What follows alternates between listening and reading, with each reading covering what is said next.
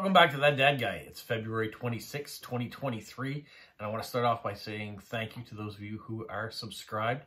And if you're just finding me the first time, go ahead, hit the subscribe button.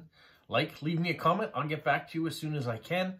And uh, yeah, we're doing a whole bunch of different things. Today, we're talking post-crossing. I've got five official cards that I can send out. I've got a couple direct swaps I'm going to show you too that are going out. And then uh, we'll talk about some upcoming videos that uh, will be out this week. Okay, let's get started here. The very first card I have is going to Germany. And uh, this one's really cool because it starts off, uh, she updated her profile in January and said that her father is turning 70 in March. So really what she wants is, um, it's not, you can send whatever card you want. It doesn't have to be a birthday card. But uh, she would like the messages all to be to her father. That's very nice. And then she's going to present them as a birthday present. So it reminds me of when I did the uh, Ukrainian stamps for my father um, which is still ongoing. If you want to send Ukrainian stamps, you can still do that. Uh, we're still building a collection there for him. Um, but let's get back to this. Uh, so her father, Rainer, will be celebrating his 70th birthday in March. And so she wants cards that are in uh, your native language saying a happy birthday. And um, yeah, she went, goes on in a regular body to talk about um, what sort of cards she likes. But she's set this side apart. So that's what I'm going to do. I've sent or will be sending this card, the I Love Canada card, and I'll have a birthday message to Rainer on the back of it and uh, wishing him well on his 70th. So I think that's a great idea and a great way to keep uh, your profile fresh if, uh, you know, things change. Sometimes you want certain cards, sometimes you've had a lot of those cards and you take it off the list. Uh, and uh, sometimes there's uh, special things happening in your life and you want to do things for. Um, so yeah, that's a good idea. Keep your keep your profile up to date. All right, my next card is going to Portland, Oregon. And uh, she says she uh, lives with her family and her two cats and one goldfish. So there's lots of gray and rainy days in Portland. Um, so she wants to have a card that uh, brightens the day. She can speak a couple different languages and uh, can read Japanese as well. She loves traveling near and far and uh, reading, crafts, running, and walking. So I've chosen this card. You may have seen it in the past. This is Fundy National Park. Uh, one of the places that I love to go hiking, not too far away, what an hour's drive away from me. And uh, so if she likes hiking and she likes uh, traveling around, this might be the place for her uh, to get to the other coast. It's not rainy here today. It is cold. It's not snowy, but it's minus 19 this morning. so it's been a very cold weekend. We're in a cold snap. I think next week we may be getting a few flurries again, but the temperatures will be climbing. So I look forward to that. All right, my next postcard is going off to Estonia. And she says she's interested in everything concerning folk, fairy, uh, literary, and mythological characters from your country. She likes Christmas cards and traditional crafts and arts um, from our country, smiling and friendship, tourist postcards of your country, big sailing ships, knights and horsemen, or old holiday cards. And she also loves stamps. So I've chosen this. It's not a nice uh, a knight, but it is a horseman. It may be a, a Canadian knight. So this is the Royal Canadian Mounted Police uh, in his uh, traditional um, outfit. You don't see them that way most of the time. Mostly they're in a police car in their uh, dark uniforms. But when it's a, a parade day or a, a, special occasion, they put on their red uniforms for that. So that is a Canadian knight, I guess. All right.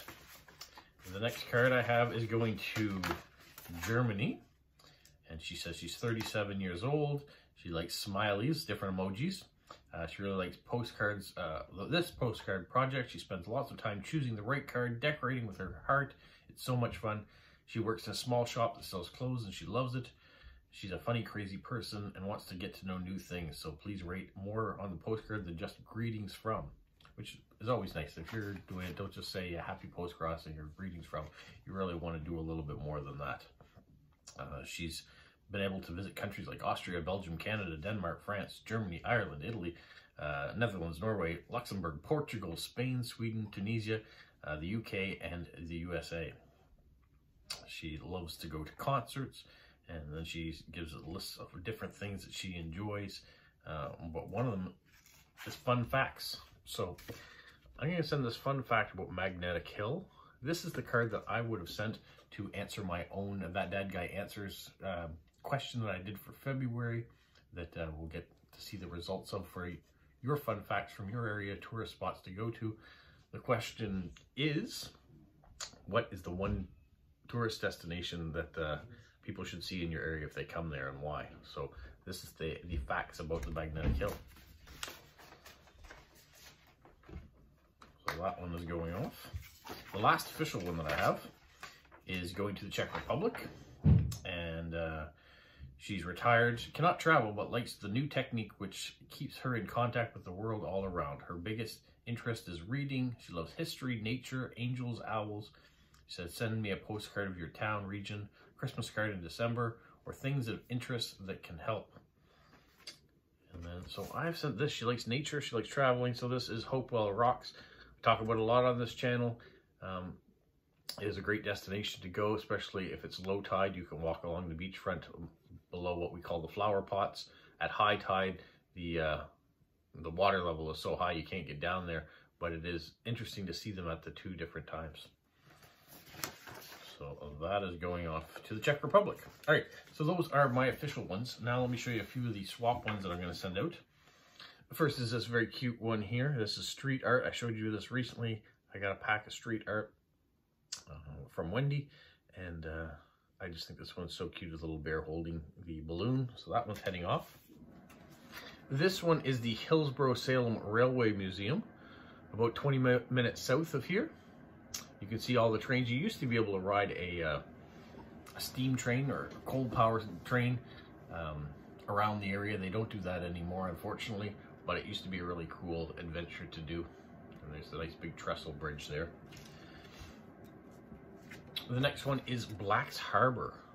They have a nice ferry, a nice spot to go over there. You've got a nice waterfront, lighthouse. So a nice part of New Brunswick. This one's Prince Edward Island. You can see all the fishing boats waiting to go out or maybe you've come in for the day. But uh, nice boat picture for someone that might enjoy something a little different than what they have. This one's a vintage card. This is the uh, John Cabot Monument in Cape Breton. Uh, so on June 24th, 1497, John Cabot landed on this spot, uh, 1,330 foot elevation, now called Sugarloaf Mountain, unfurled the royal banner and took possession of the country in the name of King Henry VII. So there we go. There's a discovery card, a little historical thing, and uh, famous in our area. Here we have Prince Edward Island. Uh, here's a shot of Anne, Anna Green Gables' house, made famous by Lucy Maud Montgomery. And uh, you don't really see it usually in winter time, so it's kind of nice to see a winter picture. There's the Confederation Bridge and one of the lighthouses, and you can see all the snow and ice around. And then finally, I have a, a tourist card of London, England, of all sorts of different sightseeing places you may want to go to if you get a chance to visit there. So uh, we're going to send that. So a lot of my cards are Canadian that are heading out this week. But uh, every once in a while you mix in a different card because you know people have different interests and they're not always uh, have to be about your country, your area. Um, so that's good. My official ones going out, uh, yeah, they're all Canadian this time around, but it's not always the case. All right, so I've got a little bit of uh, filling out to do here now and stamps to put on. So that'll be the rest of uh, today, or a part of today. Won't take the whole day post-crossing, but uh, part of the day will be for the hobby. Uh, tomorrow, I think I've got a video coming out, well, either tomorrow or Tuesday. We'll see which day, but I have one on um, the uh, use of uh, uh, orange citrus aerosol spray to uh, take the backing off of stamps. So when you're taking the uh, the paper off them, uh, I've got a video for that coming out. I also have a video on Dankmart. A gift was sent in by my brother, a mystery box. So I'm going to open that and see what that's all about. So there'll be a video on that coming out this week as well. Um, yeah, I, am not sure, but there's also all sorts of different things happening all at once. And uh, I'm always surprised by what you guys send and when it kind of leads the way what videos are going to happen in, in which order. Uh, so sometimes they're stamp videos, sometimes they're Lego videos, sometimes they're uh, postcards, sometimes it's an adventure video. So stay tuned. You never know what you're going to get here. Make sure you're uh, you got the notification bell on so you know when a new video comes out. And uh, hopefully you're subscribed so uh, you can help grow the family. Anyways, have a magical week. What, follow? You say like, subscribe, share, and tell all your friends? Who's a good boy? Who's a good boy? Bye.